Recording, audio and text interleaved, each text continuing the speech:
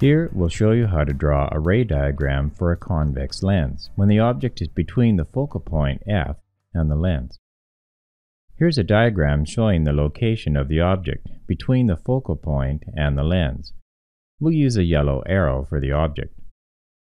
We've drawn this object so that the bottom of the object is sitting on the principal axis.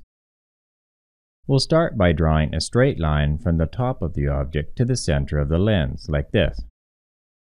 This line must be parallel to the principal axis. Now we extend this line straight through the focal point on the right side of the lens, like this. Next, we draw a straight line from the top of the object through the middle of the lens, like this. Notice that in this case, these two rays are moving away from each other or diverging. They will not cross each other. Therefore, no real image can be formed in this case. But if we extend this purple line backward with a dotted line like this, and the green line backward with a dotted line like this, they will cross right at this point. Now let's pretend we're looking through the lens from the right side.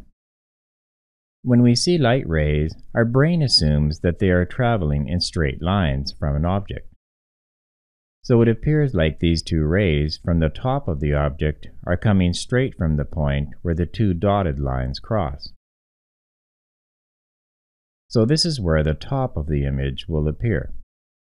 And because the bottom of the object is sitting on the principal axis, the bottom of the image will also be on the principal axis, right here directly underneath the top.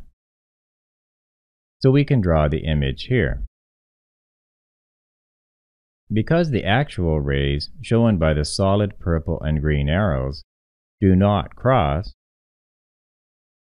this is not a real image. But it does appear to an observer, so it's called a virtual image. We show it here with a dotted outline.